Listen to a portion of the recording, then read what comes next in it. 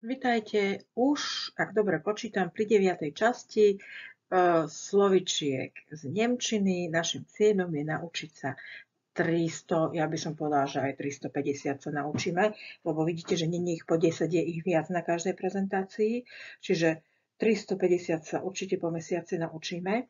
Dnes sa budeme učiť časové údaje. My na minulej, uh, v minulej prezentácii sme sa naučili čo?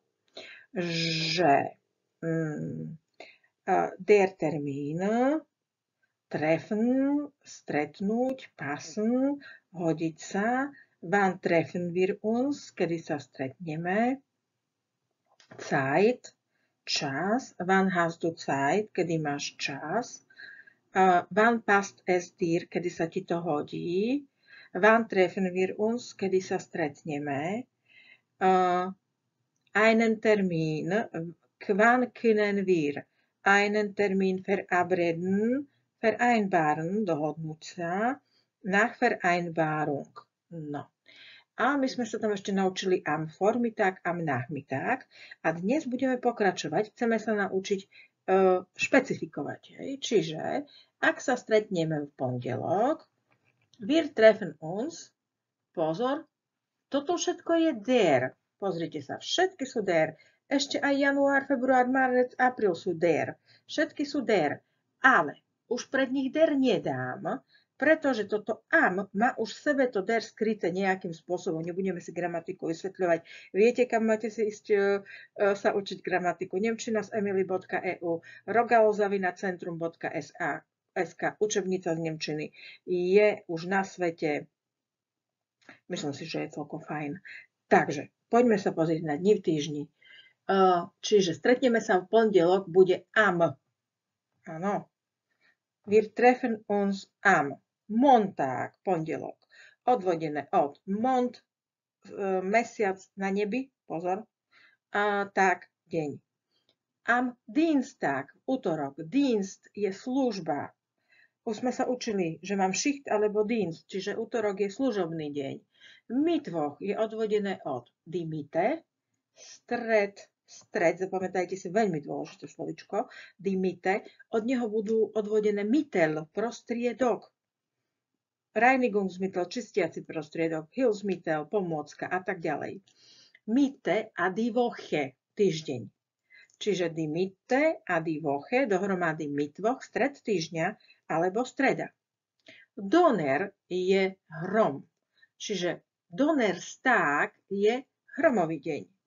Freitag, frei, ich habe heute frei, mám dnes voľno, je deň voľný.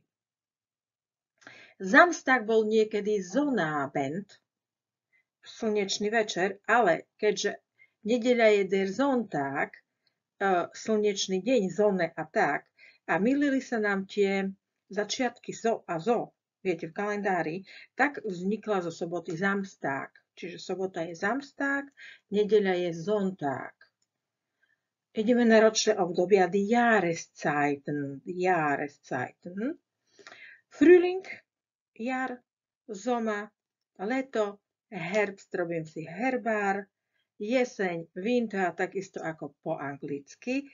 Frühling, jar, sa niekde môže nazývať v Rakúsku Frühjahr. Pozor, ak je to v ročnom období, je to im. Čiže im Frühling, im Zoma, im Herbst, im Winter. Člen už vynechávam. Áno. Takisto, aha, ja som to tak trošku nezrozumiteľne dala, am bude platiť aj pre časti dňa. Čiže am morgen, am Vormittag, am Nachmittag, to sme už mali. A pozrite sa, ako je to odvodené. Je to odvodené od Mittag, ako obed. For je pred, nach je po. A der Abend je večer. A možno, ak by vás ešte zaujímalo, in der Nacht je v noci. In der Nacht.